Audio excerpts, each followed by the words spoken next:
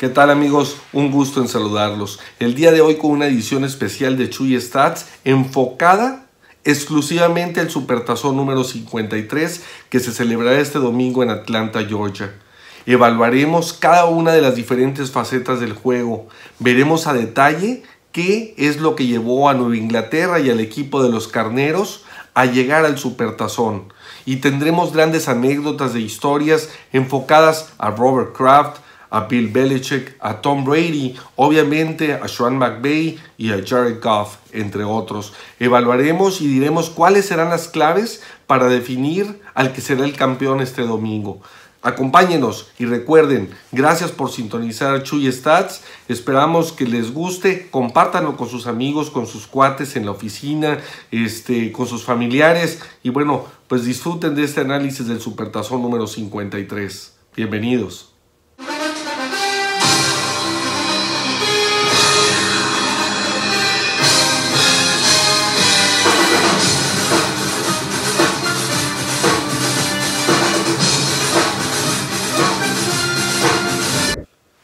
El éxito de toda organización nace desde sus líderes. Ellos son los que establecen la filosofía, los valores, la misión y la visión que van a permear a toda la organización. El equipo de los Patriotas de Nueva Inglaterra desde su nacimiento en 1960 en la ciudad de Boston habían sido una franquicia oscura, una franquicia gris. Tal vez el único destello fue aquel 1985 cuando llegaron al Supertazón para ser apaleados y aplastados por el equipo de los Osos de Chicago por 46 puntos a 10. Sin embargo, todo cambiaría el 21 de enero de 1994 cuando Robert Kraft, un empresario de la ciudad de Boston, adquiere al equipo por un total de 172 millones de dólares.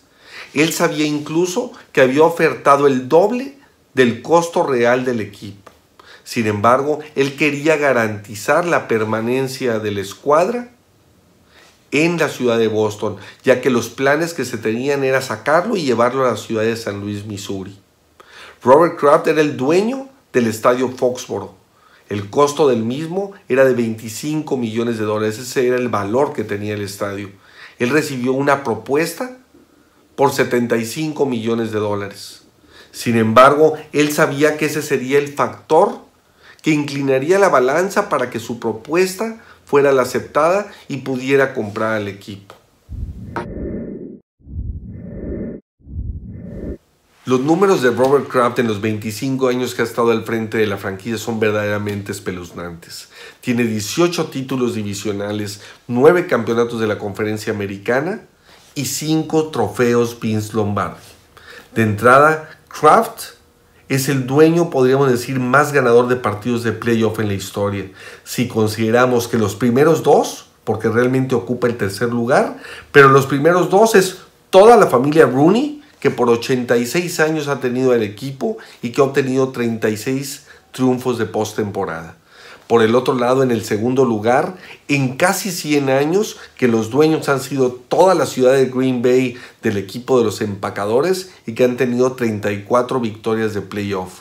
Y Robert Kraft en tan solo 25 años tiene un total de 31 triunfos en postemporada. Marcas impresionantes para cualquier franquicia. I've been trying to find my way back home. I've been riding down this road too long. Yeah, mama, I'm coming. I'ma keep running and running. I'm a champion.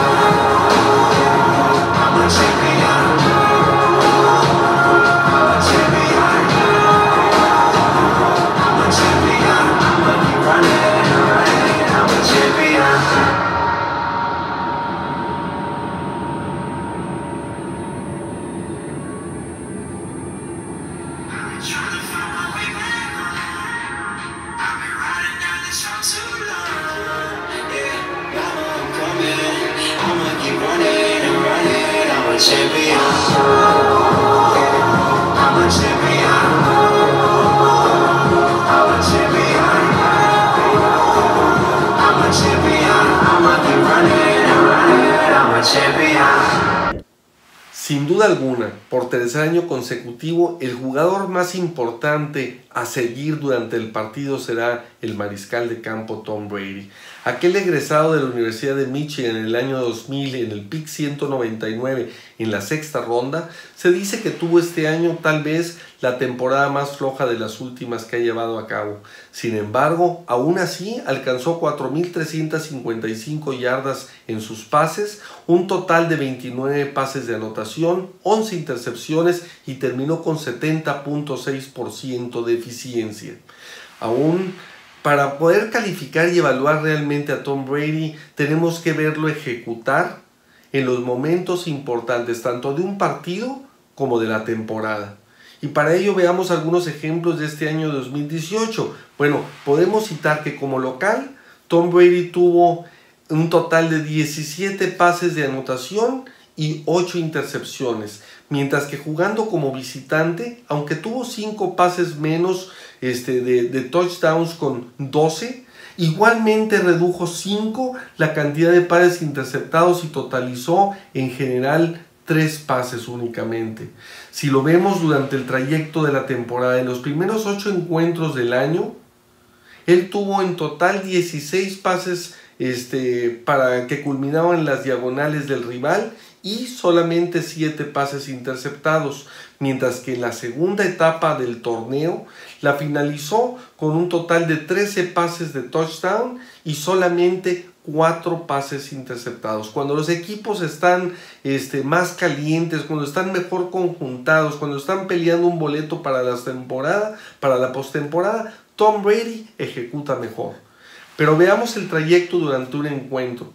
El segundo y el cuarto cuarto, sin duda alguna, los mejores de Tom Brady. Cuando el equipo necesita irse en el medio tiempo con una ventaja en el marcador o cuando termina los encuentros, veamos en su porcentaje de pases completos, en su eficiencia. Y podemos decir que en el primer cuarto, Tom Brady tuvo en total en promedio durante el año 64.7% de sus pases completos. En el segundo aumentó a 68%.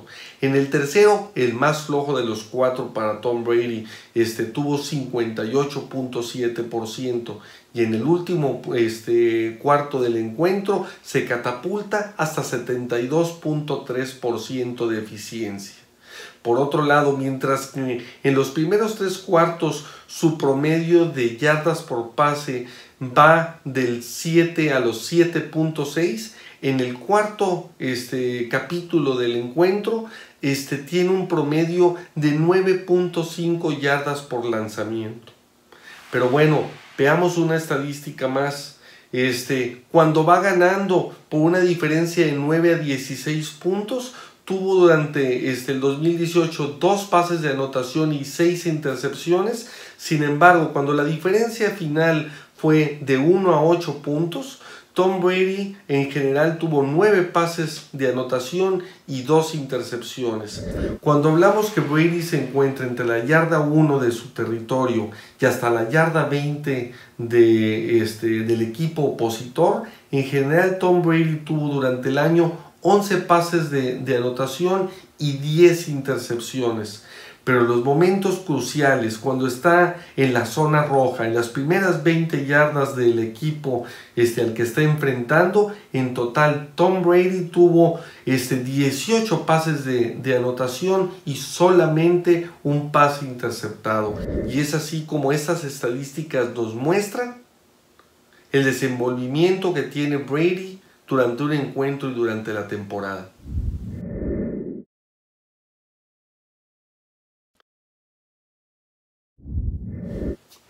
Uno de los aspectos fundamentales que creo que van a influir en este partido y que hay que seguir es porque el equipo de Nueva Inglaterra normalmente basa su plan de juego por un lado en la administración del ataque y el balance del ataque terrestre y el aéreo, pero por el otro lado en el ataque aéreo la distribución de los pases que hace Tom Brady hacia sus corredores, a su ala cerrado, a sus tres receptores, este, cómo da dos o tres pasos únicamente hacia atrás, lo cual pues obviamente le da en teoría menor potencia a sus envíos. Pero que obviamente basa este, en ser él un arquitecto del juego. Sin embargo, veamos la siguiente estadística y a qué conclusión podemos llegar. Por un lado, atrás de la línea de scrimmage, durante el año, Tom Brady tuvo en total 94 recepciones. Sí, atrás de la línea de scrimmage. Tuvo 177 recepciones de 1 a 10 yardas. Por otra parte, de la yarda, o sea, de 11 a 20 yardas, tuvo en total en el año 70. Y de 21 yardas o más, únicamente 13 recepciones. Si Tom Brady basa en, esas, en ese rango de 20 yardas de atrás de su línea de scrimmage a este, 10 yardas hacia adelante, si es ahí donde tenemos pues alrededor de 270 pases en el año, pues obviamente esa zona que es la más fuerte de la defensiva de los carneros puede poner en serios aprietos el accionar y el consumo de tiempo y el ataque balanceado que tiene el equipo de Nueva Inglaterra. Para eso es súper importante el ataque terrestre que tenga la escuadra este, de los Patriotas. Para muchos, Bill Belichick no es sino el más importante entrenador en jefe en la historia de la NFL, incluso sobre la leyenda de Vince Lombardi. Para otros, no es sino un señor cascarrabias que normalmente abusa del reglamento. Sin embargo, lo que no podemos negar es que Belichick es un genio. Es un genio del fútbol americano y una persona de una gran experiencia en la liga. Empezó a los 23 años de edad como asistente especial en 1975 con los Potros en ese entonces de Baltimore. Después estuvo dos años con los Leones de Detroit. Un año más con el equipo de los Broncos de Denver. Y de ahí se va este, al equipo de los Gigantes de Nueva York, donde permanece hasta 1990, año en el que consigue el supertazón siendo el asistente a la defensiva y este, el coordinador de la defensiva. Y es ahí donde después de ese gran logro de obtención del supertazón, obtiene la primera oportunidad como entrenador en jefe llega a los cafés de Cleveland en 1991, empieza a cambiar la franquicia, en 1994 los lleva este, a los playoffs y terminan con marca de 11 ganados y 5 perdidos. Sin embargo, después de un inicio tambaleante en 1995, en la quinta jornada se da a conocer oficialmente que los cafés abandonarían la ciudad de Cleveland para llevarse la franquicia y convertirse posteriormente en los Ravens de Baltimore. Es ahí donde el equipo se desploma, Belichick a final de cuentas queda desempleado y vuelve a ser coordinador, en este caso de los backs defensivos y este, asistente del head coach, este, y llega a los uh, Patriotas de Nueva Inglaterra por primera ocasión. Está un año para que posteriormente se vaya a los Jets. Este, y ahí está durante los años de 1997, 98 y 99. Incluso después de esa temporada llega a ser por un día el entrenador en jefe del equipo de los Jets, pero repentinamente aparece en Nueva Inglaterra y se convierte en el head coach de la franquicia. Robert Kraft, quien ya lo había tenido en aquel 1996, lo hace su entrenador en jefe y ya lo demás es historia. Bill Belichick tiene en la actualidad .740 de efectividad en temporada regular y .744 en postemporada con 29 victorias y solamente 10 descalabros. No podemos negar que Bill Belichick ha aprendido de grandes maestros, ha estado con eh, este, entrenadores en jefe de la talla de Bill Parcells, Ray Perkins, el Coronado Miller y obviamente también Ted Marchibroda en aquellos inicios en este Baltimore. Belichick, genio y figura, a muchos les gusta, a otros no.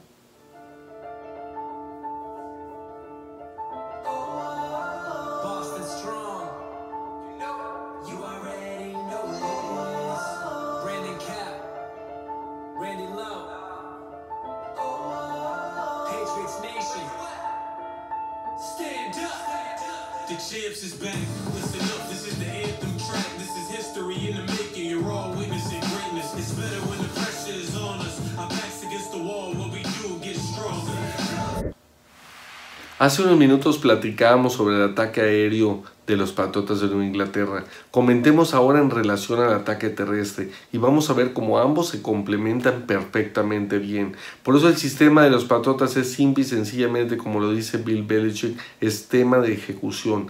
Haz tu trabajo, do your job.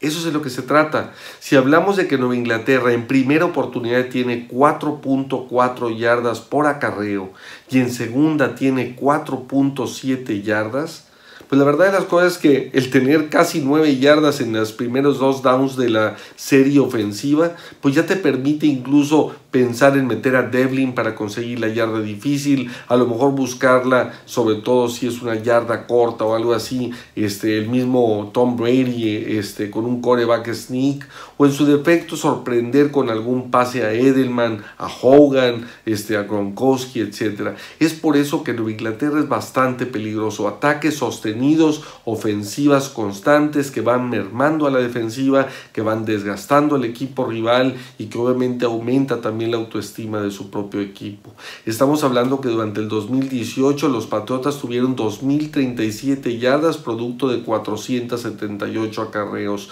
12 de sus corridas fueron de más de 20 yardas, tuvo de un total de 18 anotaciones, alcanzó 127.3 yardas promedio por partido y tuvo 131 primeros y dieces durante la temporada. Estamos hablando de un promedio de 4.3 yardas por encuentro. En lo personal creo que será un juego de bajos puntos, este, tal vez un 24-21, un 21-17, a lo mucho un 27-24. Este, va a haber una combinación de ataque sostenido, de no cederle el balón al rival, de tratar de tener el tiempo y dominar el tiempo de posesión. Sin duda alguna va a ser muy interesante la estrategia. Debemos recordar que las áreas en donde Nueva Inglaterra es más fuerte en su ataque terrestre es por las bandas, teniendo un total de 6.1 yardas promedio por la extrema izquierda y un total de 4.8 por la extrema derecha. En lo que es la línea, si corren por ahí, tiene 4.1 por la izquierda, 4.2 por la derecha y 4.2 por el centro. Entonces, no es difícil pensar qué es lo que va a hacer Nueva Inglaterra y si la línea más fuerte o el sector más fuerte de los carneros es su línea frontal, sin duda alguna, va a ser una pelea muy interesante. Por un lado, ver cómo Inglaterra va a tratar de establecer ambos ataques sostenidos de manera de ir mermando este, a los carneros. Y por el otro lado, al tener la solidez que tiene el equipo de Los Ángeles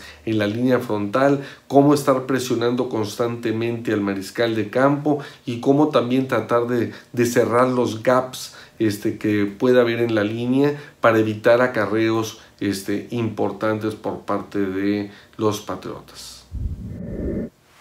Llegó el momento de evaluar otra de las facetas del juego, los equipos especiales. Empecemos por el especialista de goles de campo y puntos extra. Los Patriotas de Nueva Inglaterra tienen a uno de los más certeros en la historia, Stephen Goskowski. Esta temporada conectó 27 de 32 intentos para 84.4% de efectividad. Por su parte, los Carneros de Los Ángeles tienen a Craig Sutherland, que desde su llegada a la NFL ha dejado de manifiesto que su principal virtud es la potencia que tiene en la pierna. De entrada este mismo año conectó 4 de 6 intentos de 50 yardas o más.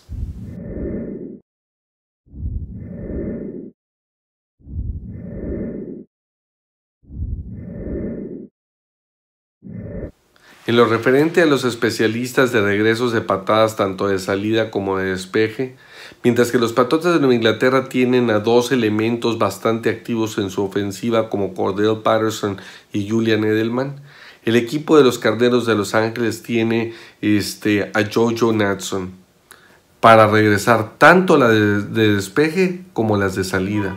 Dos estrategias completamente diferentes.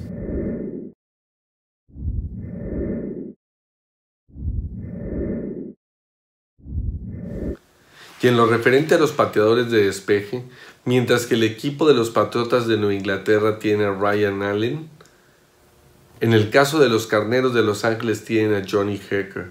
La principal diferencia entre ambos, porque las estadísticas son muy muy similares, es que el equipo de los Carneros ha jugado en varias ocasiones con engaños en lugar del pateo de despeje.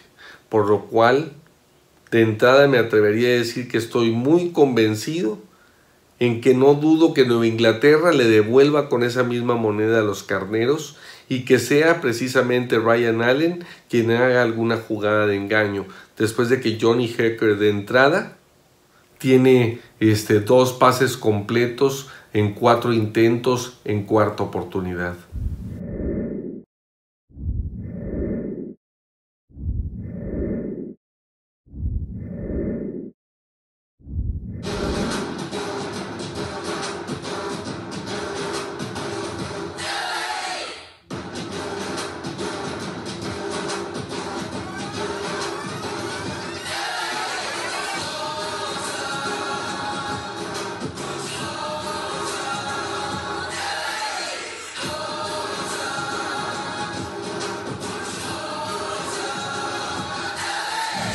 Toca en turno hablar sobre el Nobel este, Sean McVeigh, quien al cruzar la barrera de los 30 años recibe la oportunidad de ser entrenador en jefe de los Carneros de Los Ángeles, a quienes apenas en su segunda temporada lleva el supertazón este domingo en Atlanta, Georgia.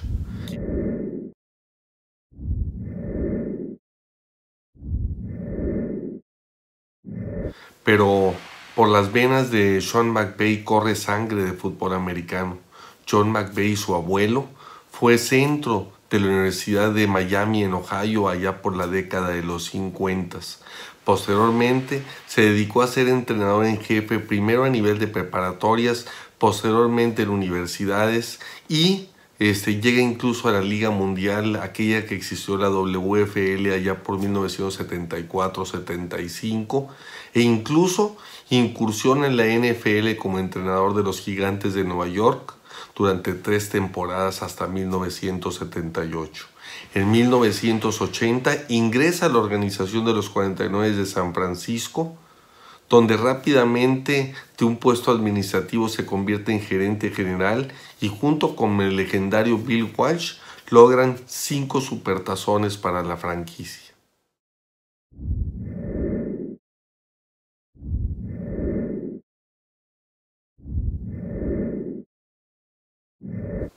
También Tim McVeigh, el padre de Sean, este, fue un destacado jugador este, defensivo que como safety este, tuvo años bastante sobresalientes. Sin embargo, nunca llegó a la NFL.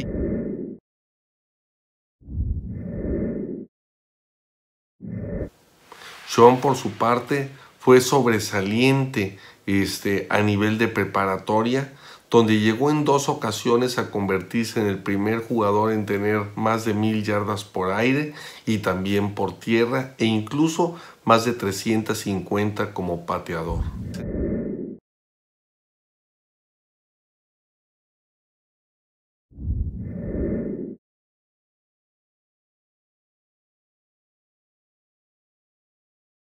Sean McVeigh este, recibe así múltiples este, propuestas para tener beca en la universidad, recibiendo ofertas de, este, de Rice, también de la Navy y obviamente de la Army.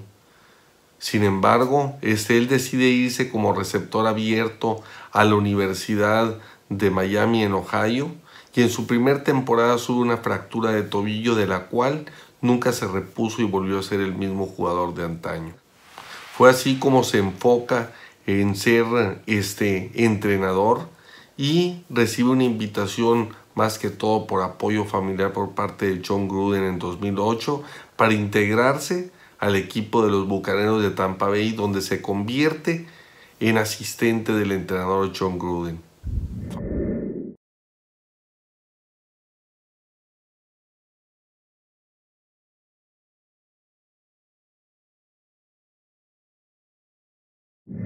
En 2009 entrena, este, es el entrenador en jefe de un equipo de la UFL, otra liga que existe en los Estados Unidos, para que en 2010 este, incursione como este, entrenador de alas cerrados y también como coordinador ofensivo de 2010 a 2016.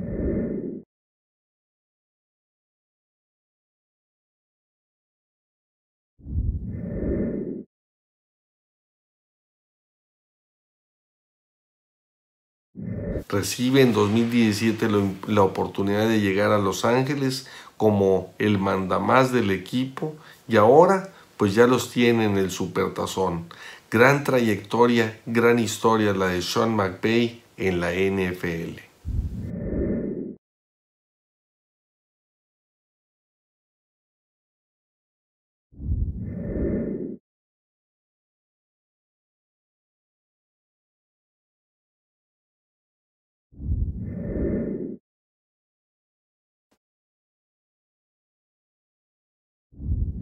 Otro jugador a seguir este, en este supertazón sin duda alguna será Jared Goff, el mariscal de campo que está en su tercer año este, en el equipo de los Carneros de Los Ángeles. Goff, este, y podremos ver algunas diferencias contra las estadísticas que dimos al principio por parte de Tom Brady, tuvo una gran temporada, 32 pases de anotación y 12 interceptados. Sin embargo, por ejemplo, podemos ver que su porcentaje durante el partido empieza con un altísimo 72.9 en el primer cuarto, 62.4 en el segundo, 66.7 en el tercero y termina con 58.6 este, de promedio este, en el cuarto cuarto.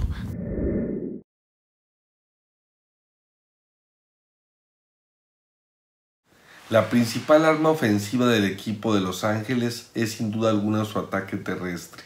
Tuvo 4.9 yardas promedio por acarreo, producto de las 2.231 que logró durante la temporada en los 459 intentos de correr el ovoide.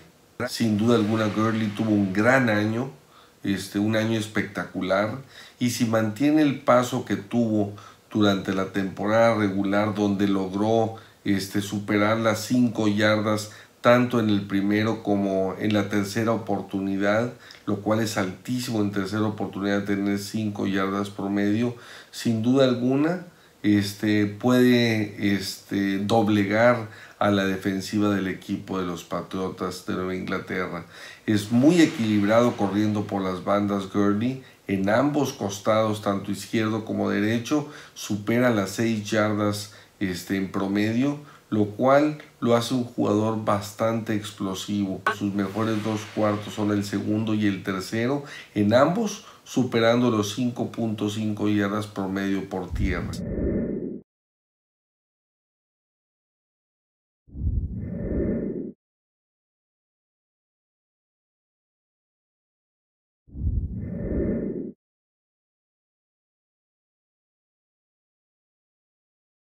El equipo de Los Ángeles tiene eh, un ataque aéreo importante, pero sin duda alguna su principal arma es el ataque por tierra.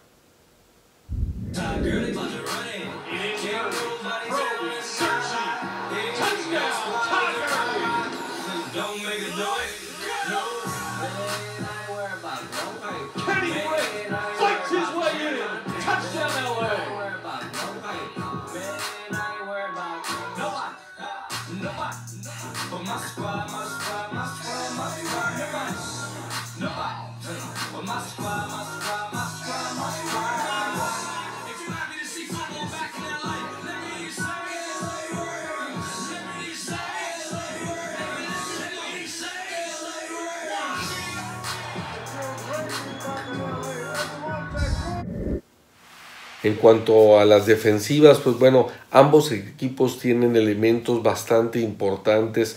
Por un lado, los Patriotas de Nueva Inglaterra, sobre todo este, a Malcolm Brown y obviamente a Kyle Banoy, este, Dante Hightower, que obviamente como linebacker fuerte este, es eh, bastante sólido. Y obviamente la experiencia de McCorney y de Chung este, junto con, con Gilmore en la defensiva profunda del equipo de los Patriotas de Nueva Inglaterra, mientras que el equipo de los Carneros de Los Ángeles, sus esquineros, Pierce este, y Calib, que obviamente son bastante este, espectaculares defendiendo el pase largo y obviamente la presión que ejerzan sobre Tom Brady y sobre ese este, ataque aéreo que este, es de poco yardaje normalmente, pero muy este, consistente por parte de Brady. Sin duda alguna, esos son los elementos que consideramos que son los más importantes.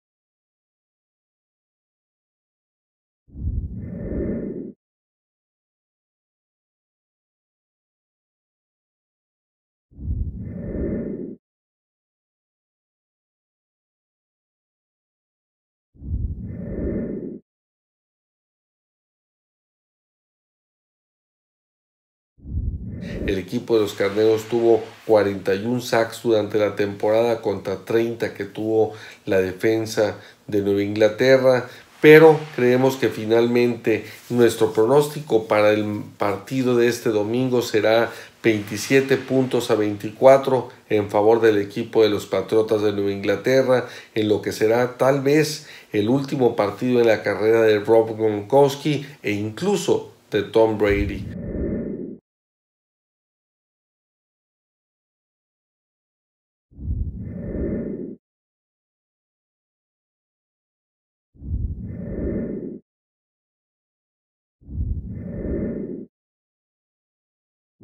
Pero bueno amigos, esperemos que disfruten el partido este domingo, invitándoles y recordándoles para que sintonicen Chuy Stats, este, para que compartan este video con sus amigos, con, este, con los cuates, con la raza de la oficina y con la familia. Y pues bueno, dándole las gracias y dando el cerrojazo final a esta temporada de la NFL.